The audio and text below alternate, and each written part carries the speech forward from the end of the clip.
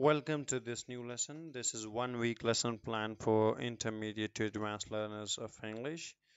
Uh, the objective of this lesson is to enhance the language proficiency of intermediate to advanced ESL learners through engaging and challenging activities across the four language language skills listening speaking reading and writing the uh, level of the students is intermediate to advanced learners uh, five days a week classes are being conducted for one week.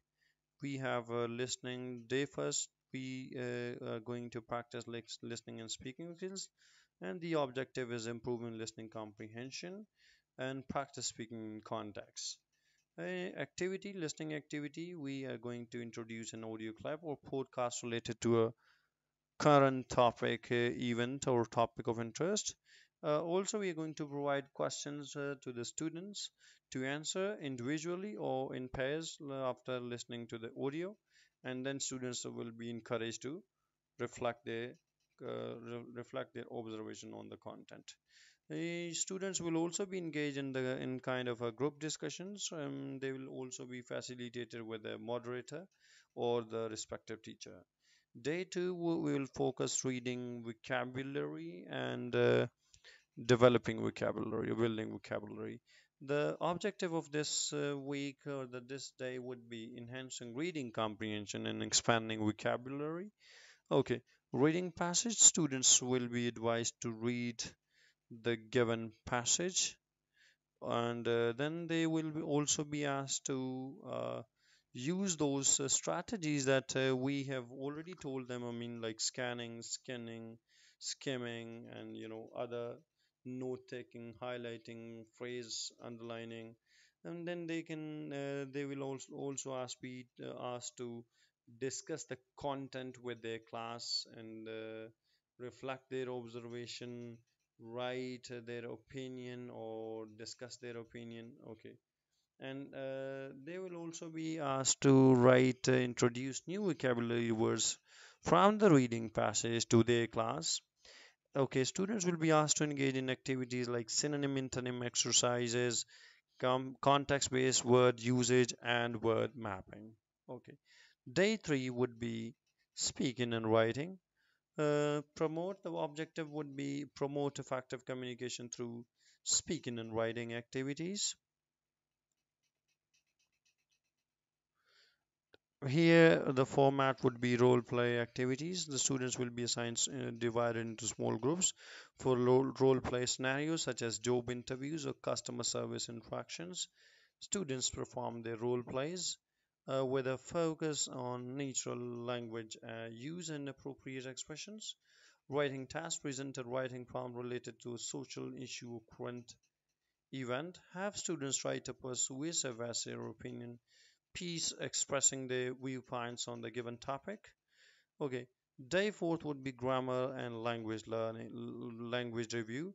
Reinforce uh, grammar's concept and review language structures. Okay, grammar review focus on grasp grammar specific activities have uh, and those uh, grammar topics that students they have learned previously. Okay, provide grammar exercises to the students to practice so that they can improve the target language and their structure languages. Student will also be involved in language games where they'll be asked to improve their language skills. Okay engaging students in language games such as words puzzles uh, grammar bingo or vocabulary charades or reinforce language concepts in a fun way.